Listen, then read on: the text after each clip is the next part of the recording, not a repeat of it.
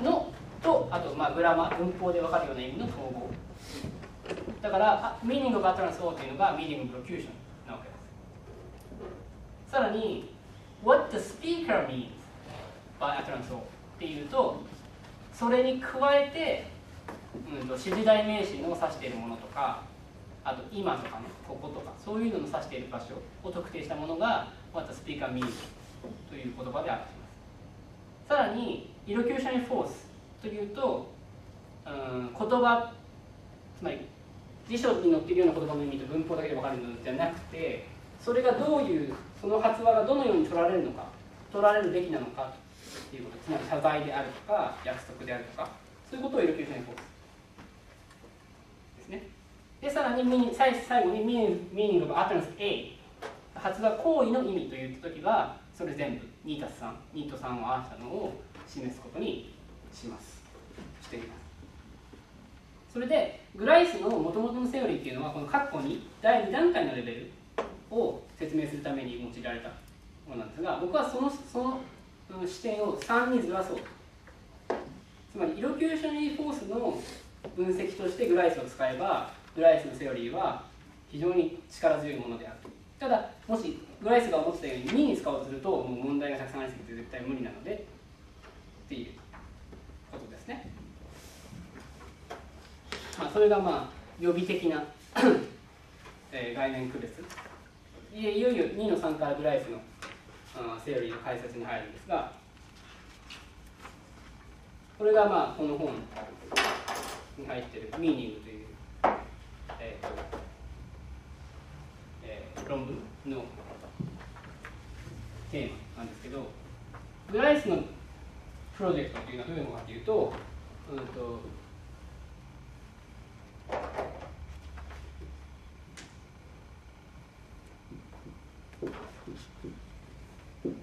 ライスはその言葉の意味というものをスピーカーミーニング発話者の意味というもので説明しさらにスピーカーミーニングというものを発話者の意図で説明しようそういうプロジェクトなわけです。ね、まあ、最終的に目標はここなんですけどで僕としてはここの動きにはそれほど関心がなくてなぜならこれは別にここのことですからこれをここに変えろっていうことが必要ですからでここをまずどうなってるのかってことを分析しよう。つまりスピーカーミーニングするってことはあ何らかのインテンションを持つことなんだけどそれがどういうインテンションなのかっていうのを解説したのが、まあ、ミーニングというエッセイです。うん、詳しい解説、まあ、これ詳しく解説するとに長くなるのですが、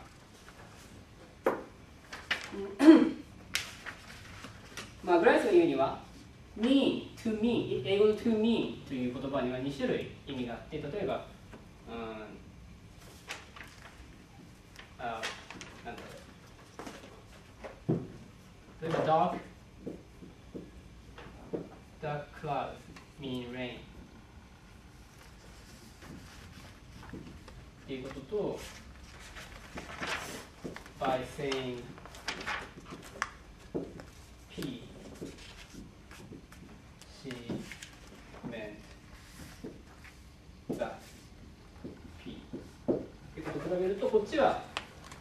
つまりあの黒い雲がただた立ち込めているということは雨が降るっていうことっていうことっていうのがミーに当たるんですけどこっちは P ということによって P ということを意味している。でグライスにはこの2つは違うよこのミーンの意味が。でこっちをナチュラルミーニングといってこっちをノンナチュラルミーニングと言いましょう。でこっちの方が今はスピーカーミーニングと呼ばれるようになったことですこの違いについてはあのミーニングの最初の方を読めばすごく簡潔に書いて簡潔というかたくさん例示がされて書いてありますで果たしてこれこの意味のミーニングというのはどのようにして分析されるかというとそれが、うん、論文の26ページとハンドアウトの4ページ。に書いてあるの上に書いてあるグライスが言うには A 発話者 meant non-naturally meant something by X an utterance of is roughly equivalent to A intended the utterance of X to produce some effect in an audience by means of the recognition of this intention. So this is very difficult to translate, but、uh, 図式で表すとその下の M インテンションというのになるんですね。つまりスピーカーミーニングするっていうことは3つのインテンションを持つことである。3つのインテンションを持って発話、アッターすることである。まず1つには、うんえーととえー、特定のレスポンス R, R をプロデュースすること。するというしようという意図。さらにこの、えー、特定のレスポンスをプロデュースしようという意図を、えー、発話が向けられているオーディエンスに分からせようとする意図。これが括弧2そして1を達成するために2がその理由になるように意図するっていうのが3です。だからこの3つ3フォールドの意図の中にこのなんですか自己言及的な部分が含まれているので reflexive という名前がついている reflexive communicative intention ということです。でこれをひっくるんで123をひっくるめて M in 10というふうに呼びましょうなんで M なのかよく分かりませんミーニングインテンションかなあこれちょまあこれが非常にキーになるわけですが、えー、これの理解に関して質問はありますか？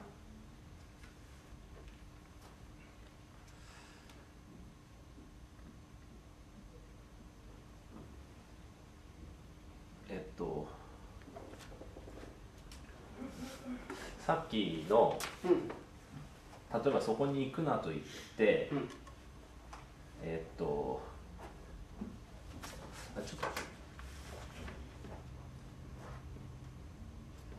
多分一番日本語にするのが難しいところだと思うんですけど。あ失礼。OK です。例を挙げると例えばうんそうだな。うんそうですね。例えば X アトランス A がそうですね。うんと